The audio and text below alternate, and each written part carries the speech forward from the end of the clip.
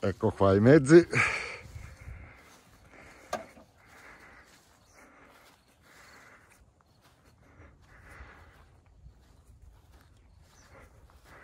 Renatino sta mettendo la GoPro così vediamo se ci facciamo qualche video in volo.